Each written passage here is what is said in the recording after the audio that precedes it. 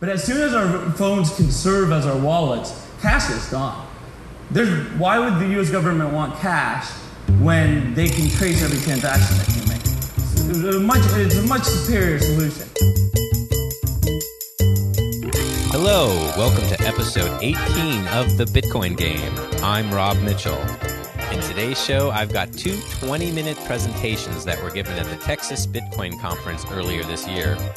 First off is a presentation by Jeremy Gardner, who co founded the College Cryptocurrency Network and is also the Director of Operations at Augur.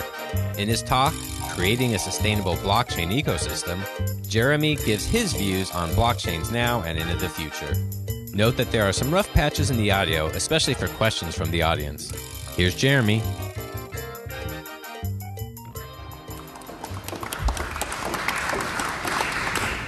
I want you all to imagine you're having a conversation with someone and they tell you for every financial transaction they make, they use PayPal.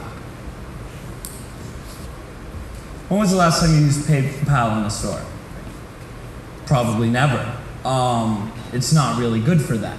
Um, this, this is a problem that we have in Bitcoin right now. There's something called Bitcoin maximalism the notion that there can really only be one blockchain. And that's somewhat inconceivable to me. That we're going to have a single blockchain. I mean, there, there's so many blockchains already in existence, probably over a thousand now, that the notion that we could just have one kind of goes against everything that we've seen so far in this ecosystem.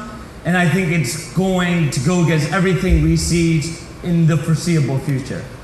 What I'd like to outline to you is the future that I envision because I believe I've got the unique perspective of flying around to Bitcoin conferences all the time, being a true Bitcoin believer while working the decentralized application space, building on top of Ethereum, working with so many unique individuals and having so many unique perspectives that I believe that often our vision can be clouded because we have a vested stake in Bitcoin. But the second we become maximalists, we end up losing a lot of the value in this technology.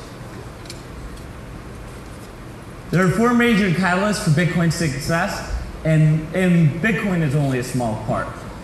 First, you have banks, or dApps, excuse me, decentralized applications, such as Factom, Ethereum, Storj, and Augur. None of these use Bitcoin's blockchain. Well, Factom does sort of. But each of these offer very unique and powerful set of tools that never existed before. And building on top of Bitcoin's blockchain doesn't really work that well. I'm part of Augur, and decentralized applications are a nightmare to build on top of Bitcoin Core. Uh, Joey Krug, the lead developer on the team, will be speaking at the end of the day today, speaking about this. But we tried building on Bitcoin Core. That's how our white paper was written. But it didn't work. Every time we tried to make one change to Bitcoin Core to make it work for prediction markets, which is what Augur is, three things would break. And that's not a sustainable way of building new applications with this technology. And fortunately, Vitalik Buterin, creator of Ethereum, had always been an advisor to our project. He never suggested that we build on top of Ethereum. We had discussed it, but he never pushed the notion. But we started thinking, wow, maybe Ethereum may be better. And then Blockstream came out, which announced side chains and allowed you to use Bitcoin on different blockchains. And we're like, now this is something that's workable. And so with, with side chains, Ethereum, now there's now something called a decentralized exchange inside of Ethereum, which doesn't even makes it so you don't need uh, side chains. You have Augur. And Augur on Bitcoin Core, it's possible. You could build it, but it, but it isn't intuitive. It's not scalable. Everything breaks. You know, you want a system that's good for building, not bad. And so I think in the next three months when Ethereum launches to the next five years, we're going to see one of the largest catalysts in Bitcoin's adoption actually being decentralized applications that don't use Bitcoin's blockchain necessarily, perhaps a side chain, but it's not a core tenet of what makes the application. Next, you have banks. Banks, they say, we like the blockchain, we just don't like Bitcoin. And so people are like, oh, well, you can't like the blockchain without liking Bitcoin. Wrong. Uh, you can like a different type of blockchain, or you can do something like Ripple, trusted nodes, and that. Oh, th- those pictures didn't show up. Oh, but there's a Ripple logo, a Hyperledger logo, EMV, and what we're going to see in the next probably three to five years is Bitcoins using their own sort of blockchains or uh, trusted node based systems. The reason why they'll do this is because banks like controlling the money that they have. They don't like de- total decentralization. They like more efficient systems. That's why they like the blockchain. They like faster payment rails. Those are great. But they, they don't like not having total control of the money that they have or have printed. Um, so, and credit card companies are the same way. I mean, they have every incentive to use the sort of payment rails of this technology, but the technology itself doesn't actually appeal to them. So people say 2015 is the year of Ripple. I don't know. Uh, there's also a great project called Hyperledger.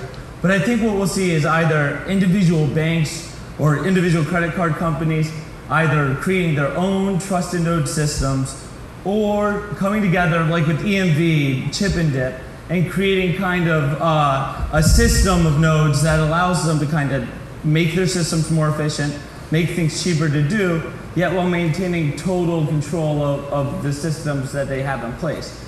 Because if you're a credit card company, you don't really want a fully de- decentralized system.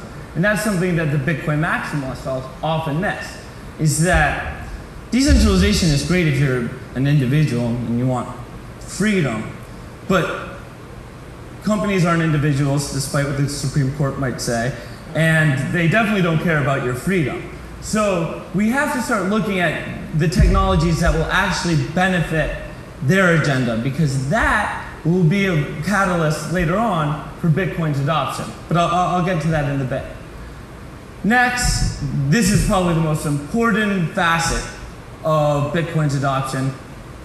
Probably I'm in the 1% of people here that actually believe this is going to happen, but it's going to happen. Uh, if you think the government isn't going to use its trusted node system uh, where they can have like each Federal Reserve serve as a node and they can totally digitalize the US dollar where they can control every transaction, see every transaction that you've ever made, you're crazy. I mean, that's the greatest thing ever. Like, as much as Bitcoin creates freedom for individuals, it also provides this awesome opportunity for government to know everything that you're doing because technologies like Ripple allow them to monitor everything you do. So I think in the next four to 10 years, we're going to see the US dollar go digital. Obviously, this has to keep in pace with the, the battery life of our phones and other devices. But as soon as our phones can serve as our wallets, cash is gone. There's, why would the US government want cash when they can trace every transaction that you make? It's a much, it's a much superior solution. So when there was a Reuters exclusive the other day saying that the Federal Reserve was in talks with IBM, I didn't even hesitate to believe it. I, I don't think this is anything we'll hear any developments from in even the next year. But five years away, I, I'd be stunned if, if the US dollar wasn't on a path to going digital because the government has every incentive to do this. Now, Bitcoin. Bitcoin will play a role in all this because as our lives become digitalized, as money becomes digitalized, as we're used to using the, these sort of digital currencies every day in our life, it becomes a lot more fathomable that someone could look at something like Bitcoin and be like, that makes sense. Right now, 99.9% of people look at Bitcoin they're like, that's stupid. But, or I don't get it. Or what is it? But if the currency they already use is digital, if their, their cash is digital, if the way we transact money is on our cell phones, kind of the way Bitcoin is now, but 5, 10, 15, 30 years down the road, then it's fathomable. And I think there will be a place for Bitcoin in the meantime as a digital gold because it's going to be a secondary digital asset. This thing that, much like gold, it's decentralized. You own it. Nobody else can hold it. Nobody else can, control it. But it's not going to be a transactional currency. By my estimates, for it to reach any level of transactional currency, uh, it's going to have to reach a 500 billion dollar market capitalization, which is the size of daily forex trading. Um, that's a long ways away. Um, I think as we go digital, Bitcoin becomes a digital gold, then you can start to see the stability in the system that you need for people to adopt this technology. And then, not only then, once people are comfortable with this tech, there's stability in the market capitalization, there's not a lot of fluctuation in price, then we may, may have an opportunity with this tech, and it's not soon. Um, but, it, but it could happen because what's going to happen is you can have some Snowden like revelations that really just serve as a catalyst for the mass exodus from Fed coin, US dollar coin, to a autonomous system, a system that is not run by any government. Now that that is really important. In the meantime, we need to build a killer app that may not necessarily use Bitcoin, that can start to move that cap market capitalization upwards. Now, I'll actually get to that in a second. Uh, but first, I'd like to take questions because then I'm just going to outline what it what it takes for us to get to the next step of Bitcoin's adoption. So, any questions?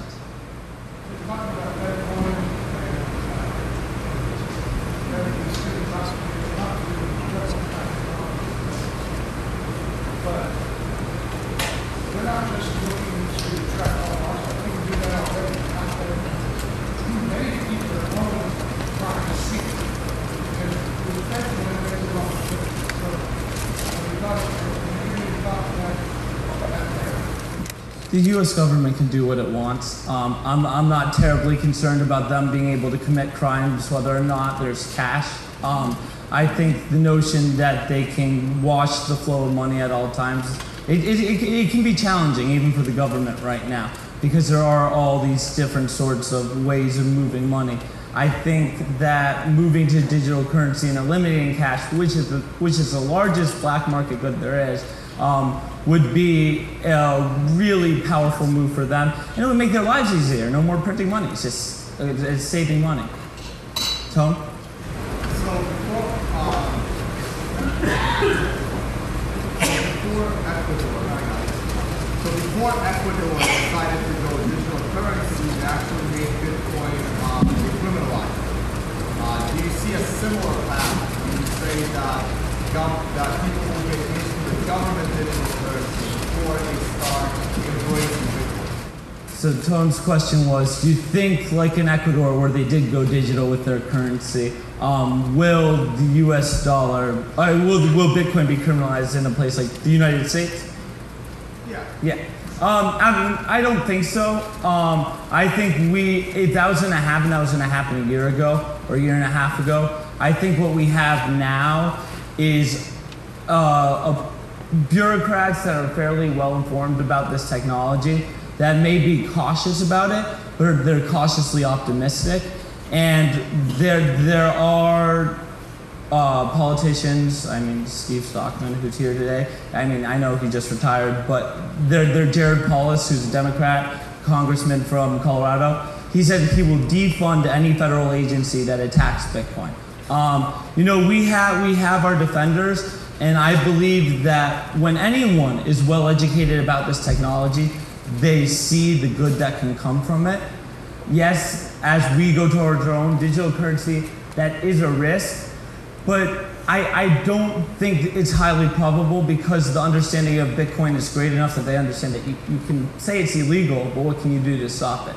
So I, I don't see a trend towards criminalization coming as a result of US dollar coin. Just keep in mind, US dollar coin will affect 99.9% of Americans, whereas Bitcoin only affects 0.1. Uh, now that may change obviously over time.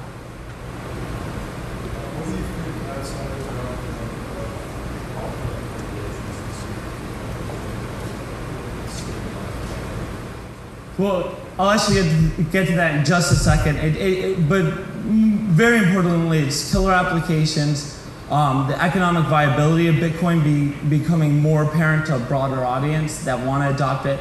Hedge funds may be putting 0.5% of their funds in Bitcoin. You know, having this secondary digital asset is very important. But I'll get to that in just a second if there are no other questions. Questions?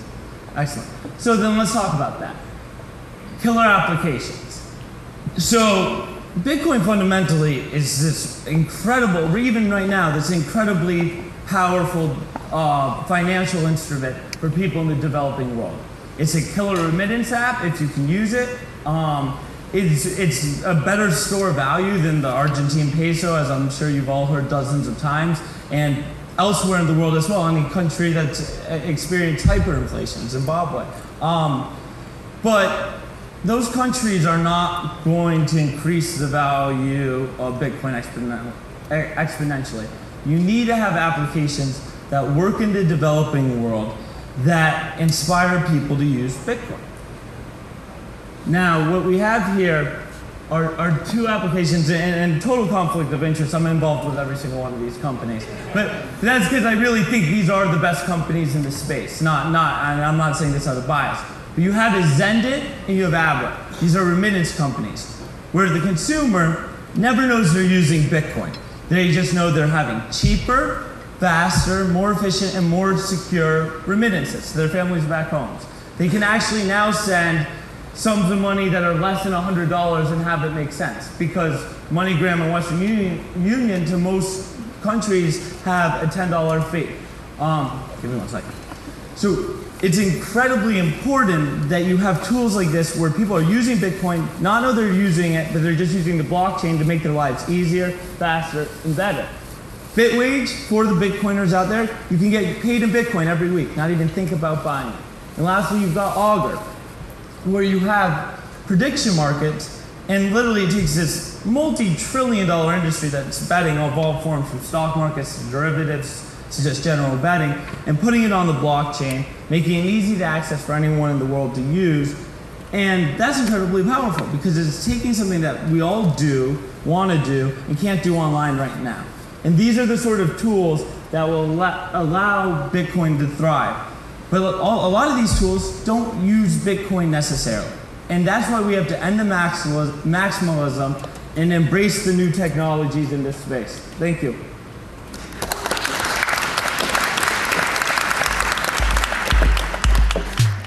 Hey, podcast listeners, I'm Carrie, and I'm here to tell you about something really powerful that's happening. Nepal recently suffered a tragic earthquake. Thousands of lives were lost, and people around the world are wanting to help. Fortunately, Red Cross has opened a Bitcoin wallet with ChangeTip and is now accepting Bitcoin donations. In just a matter of days, thousands of dollars have poured into this account, turning Bitcoins into food and supplies for those in need. With ChangeTip, we can send Bitcoins through Twitter and use our social platforms to build momentum towards giving. We can give any amount, no matter how small, and together it really adds up. So, to open an account, go to changetip.com. There, you can buy Bitcoins or transfer from your Bitcoin wallet. Start giving, and if you want, redirect the gifts people give you to go to Red Cross.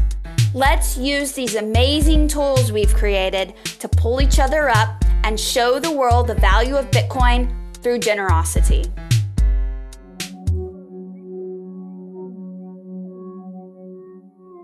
Today's magic word is future. F U T U R E.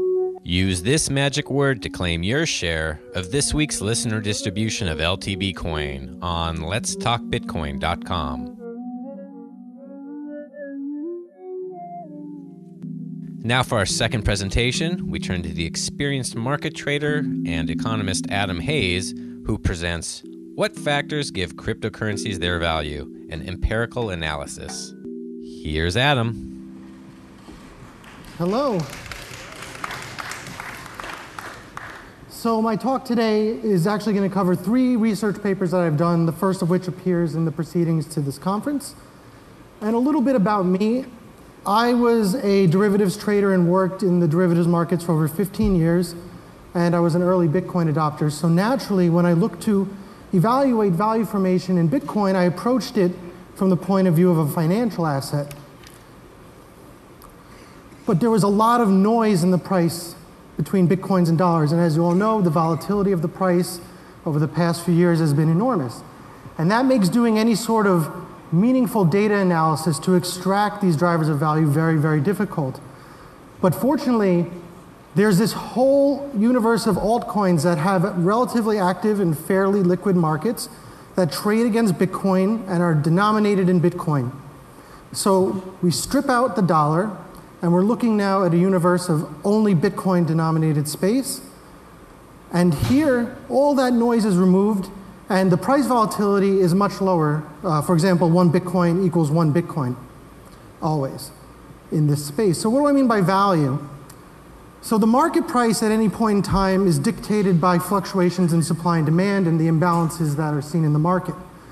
Value is a center of gravity around which prices tend to fluctuate and it's kind of a theoretical value. The market price can deviate from that expected value for long periods of time, and it may never converge to that value. So just to get that out of the way because it's always asked. So looking at all these cryptocurrencies that have a common lineage to Bitcoin, there's a rich data set of some common attributes that they all have. And by examining differences in the values of these attributes of all these different cryptocurrencies, I was able to run a multiple regression analysis that determined which of these matter in relative price formation and which of them didn't. Going into it, I thought all of them could feasibly matter. The block reward is the number of coins found per block. The block time is how many minutes or seconds between blocks, and so forth. Those are all built in. There's also observed variables that we can only see by looking at the market, such as the price and the aggregate hashing power, which manifests itself indirectly through the difficulty of mining. So, looked at 66 different cryptocurrencies that were actively traded and ran a multiple regression that had an R square of 84.4. This means that almost 85% of relative value formation is explained by the following. Mining difficulty is positively correlated to value. The more hashing power that's in there, the greater the difficulty, the more valuable a coin is. The more people mining a coin, the more valuable it is, is kind of intuitive. The rate of unit formation is negatively correlated to value. This means that if I have a block reward of 10,000 for some altcoin, it's going to be a lot less valuable per unit than something that's one one hundredth of a coin. And uh, the other one that mattered was scrypt is more valuable than SHA coins, all else equal. It's a more rigorous mining algorithm. It means that it's harder to find those coins with a harder algorithm. Money supply did not matter, and this surprised me. It didn't matter that Bitcoin has 21 million coins ever to be, or Peercoin has an infinite amount, or some coins only have 42, for example. That was irrelevant, and what was also irrelevant in the statistical analysis was how long the coin has been around. It didn't matter if it was four or five years or one or two years. So the main drivers of cryptocurrency relative value formation are taking place at the margin and have to do with the production of them and the relative differences in how many units are produced through a given amount of mining effort. So starting to look less like something like a currency and more that's something akin to commodity production. So, just it's important to bring up now that Bitcoin is the stable equilibrium for cryptocurrencies, meaning that it's the most widely accepted by people in the marketplace. It has the largest mining network. If you want to transact meaningfully in an economic way with cryptocurrencies, you need to get Bitcoins. And if that means by buying them, by mining them directly or indirectly through altcoins, it doesn't matter that it may be technically inferior to some other altcoins it's very hard to dislodge that stable, equilibrium. For example, VHS over Betamax and QWERTY keyboards and internal combustion engines are all examples of this in real life. So this equation tells you how many bitcoins a miner can expect to earn per day for one terahash of mining power. And we're just going to use a standard of one terahash just to make it easy. Bitcoins per day is a function of the block reward, the mining power, and the difficulty. And that's it. Those other numbers are constants that scale it up for days, and that take the maximum difficulty, uh, theoretical difficulty, and scale it down with 256-bit encryption. That's why you see 2 to the 32. But the variables there, and we're pegging the 1 terahash, and the block reward we know is 25, is the difficulty. So because that if you want to spend cryptocurrencies to transact, you need bitcoins, at least right now. So if a miner can produce effectively more bitcoins a day by mining for some altcoin and then exchanging them in the market, they will do that versus mining for Bitcoin directly. And if not, they will mine for Bitcoin directly. Because again, value formation on this level is only formed by production. So it's the producers who matter. Let's take an example. A rig that mines one Bitcoin a day can alternatively produce 33,000 of some hypothetical XYZ coin a day. And if the market bid on, a, let's say, Cryptsy or a similar exchange is 3,996 Satoshi, you can sell those and get effectively 32% more Bitcoin a day than by mining Bitcoin. But these opportunities are very short lived because as people see this opportunity, they go in, produce these coins, sell them in the market, keep selling them until the equilibrium price is reached. In this case would be 3,030 Satoshi. But another thing's at work. Additional mining power brought into these small altcoins will increase the difficulty, which will make it harder and harder to find them, making that profit opportunity less and less. So, what's the implication? Well, at the fundamental level, altcoins will tend to fall over time in value relative to Bitcoin. And furthermore, at specific moments, such as when Bitcoin's difficulty increases, we should see this effect happen more uh, pronounced because if I can mine one Bitcoin a day or 33,000 XYZ a day and it's 30, 30 Satoshi versus one Bitcoin, I'm indifferent. But if the difficulty of Bitcoin mining increases and I can only find 0.9 a day, that makes the 30, 30 Satoshi price attractive again because that's 10% more Bitcoins effectively. So if we see Bitcoin difficulty increases, we should see altcoins get pushed down even more so. We also have the problem of overshooting, which has to do with the market price being continuous and the difficulty adjustments being incremental. And there's also a time lag with confirmations. Some of these altcoins take a long time to go from mining to a wallet to an exchange and then trade. So here's just some examples of real world market data of some of the most popularly traded altcoins in the last six months. And they're all down significantly. Here's six more. So, going back to my first question that I wanted to figure out what is the underlying value of Bitcoin in dollars? But now looking at it from this new perspective, from a cost of production perspective, I have to identify well, what is the cost for producing Bitcoins? And that, as everyone knows, is the cost of electricity. So, right now, you have to pay for electricity in dollars, but you produce Bitcoins that are in Bitcoin. And according to economic theory, in a competitive production market, marginal cost is going to equal marginal uh, product, which is going to equal selling price. Because our cost term is in dollars per gigahash per day, and our product is in bitcoins per gigahash per day, if we divide cost by the product, we're dividing equivalents, that's just one, but we'd get scaled up to put it back into dollars per bitcoin space. So let's do a little example. Let's say the average world electricity cost is 11.5 cents per kilowatt hour, and the average mining efficiency on the Bitcoin network right now is a little under one uh, watt per gigahash second, which is the same as a joule per gigahash. And we already saw that Bitcoins per day with one terahash, you'd expect to find a little more than one hundredth of a Bitcoin a day. Divide the marginal cost by the marginal product, and you get a number that's very close to the market price of Bitcoin.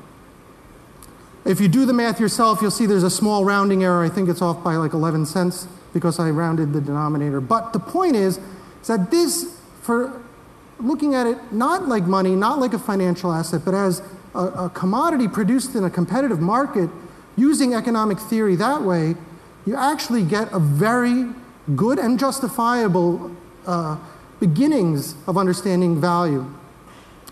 So there's implications if this is true. So as mining becomes more energy efficient, and it has by leaps and bounds, the amount of technological progress in mining hardware has gone faster than any other, you know, they, they compared it to the growth of the internet and the dot-com, they say that this has gone even faster.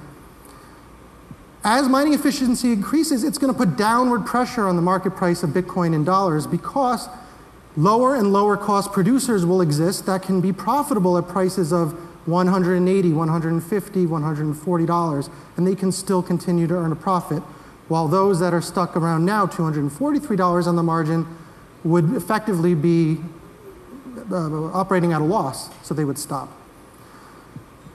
Difficulty adjustments counteract this tendency, however.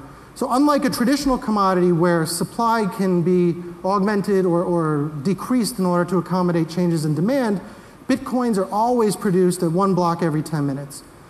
It's the difficulty that acts as an elasticity in a certain way that will go up and down, making the cost of production higher as the difficulty increases. When the block reward is halved, it will actually do this to a severe extent. It will double the cost of production overnight, presumably. So these are just objective, quantifiable valuation insights.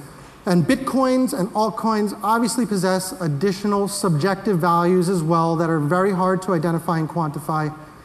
But people are speculating, miners are hoarding. This model of production assumes that people are mining to produce, they're producing to sell. That's not true. Some miners keep all or some of their, of their product. There's community and brand loyalty. For example, Dogecoin has a huge loyalty behind it, even though fundamentally it's fairly worthless based upon these, this mathematics. And there's value in the unique features of cryptocurrencies, such as the decentralized nature, that it's anonymous, that it's fairly secure, and so on. So, if it's a commodity with an exchange value, it should also have a use value. And I, I don't want to use these classical political economy terms loosely, but what I mean is that if you're going to have mining effort in order to find this commodity, there must be a use for it. And the use is actually the mining work itself. So, as we know, mining has a dual purpose. It finds new bitcoins, but it also verifies transactions and secures the blockchain.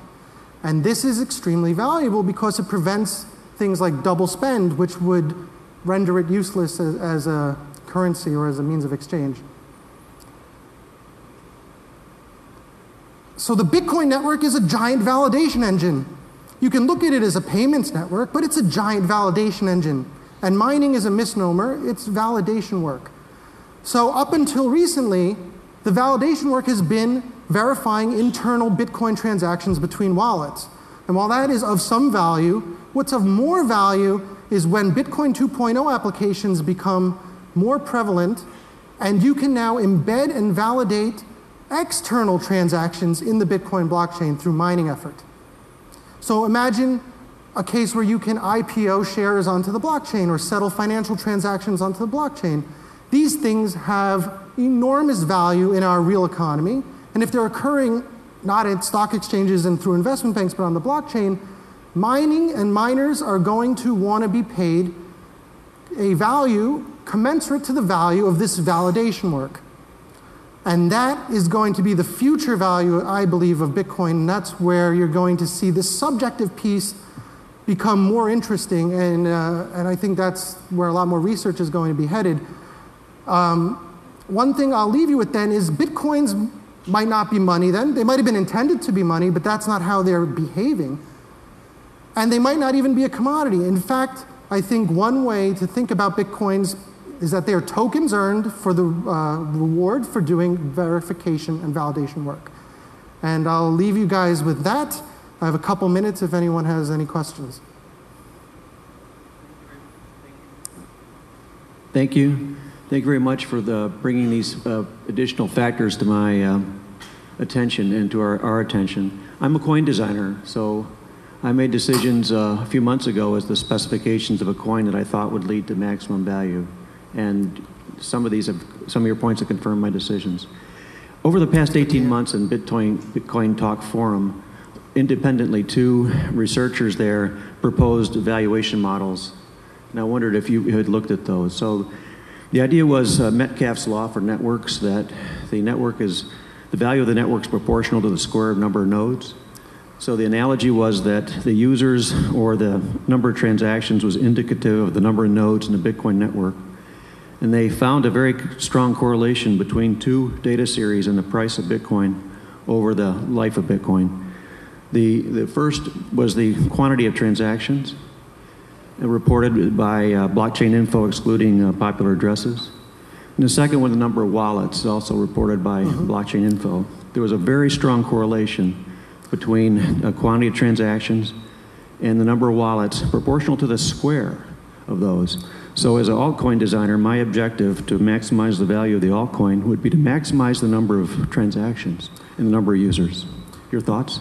Well, transaction data is, is hard to pin down because you don't know what is a real economic transaction, and presumably those are the transactions that will be meaningful for value.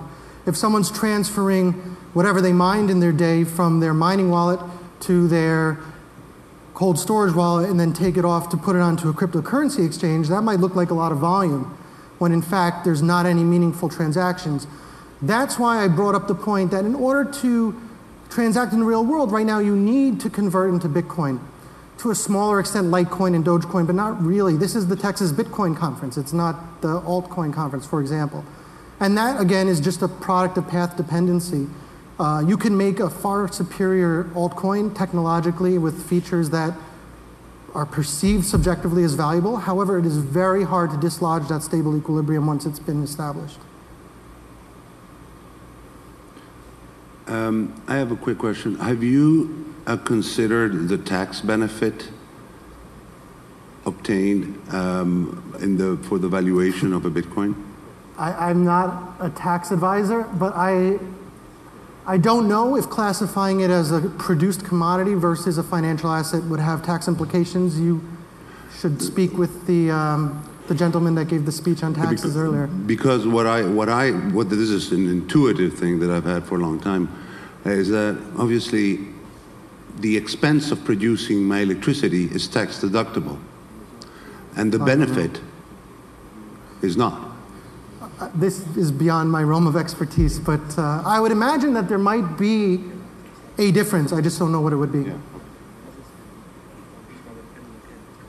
Um, would it be a fair conclusion um, from this research to say that uh, there is a tendency for the rate of profit for mining Bitcoin to fall, uh, given the the increase in difficulty and the, the the limitations built into Bitcoin as a protocol itself?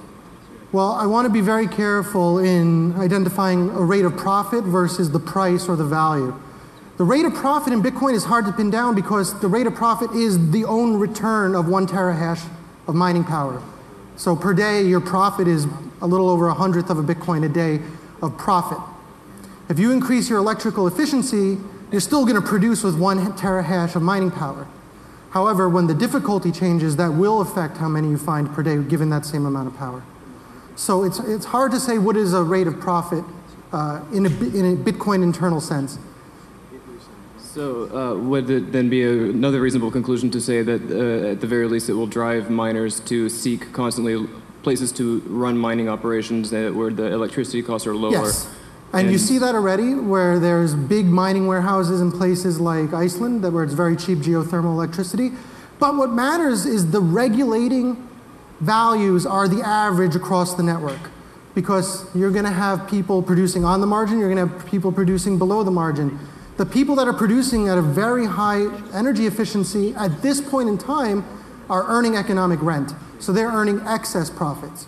Over time, as the people that are producing on the margin get booted out by the market essentially, then we will see the price start to converge. Now, there's going to be a seesaw between increasing energy efficiency, which is going to put a negative pressure on the dollar price, and the halving of the block reward and increases in difficulty, which will tend to counteract that. And I don't know which will win out. Thank you. All right. I have time for one more question, I've been told. Um, so I guess this goes into another question that was already raised. Um, so how would um, the government regulation are affecting this? Because like it was said, you don't know how many coins are moving from one wallet to another, and there are a lot of these statistics just get skewed every six months due to differences in government regulations. Right, and that's why the beginning of the analysis stripped away the, the dollar, euro, yen, yuan price. It was looking at internal Bitcoin economy, let's call it only, where Bitcoin was the base currency. And by doing so, it didn't matter whether or not the price of Bitcoin rose or fell, because one Bitcoin would equal one Bitcoin. Well, thank you very much. Um, the papers are available for you to read. The other two, if you're interested, just find me and I'll give you the links. Thank you.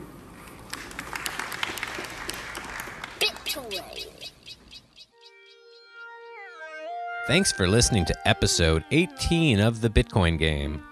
Please let me know you listened by following or tweeting to the BTC Game on Twitter, or by commenting on this episode's page on letstalkbitcoin.com.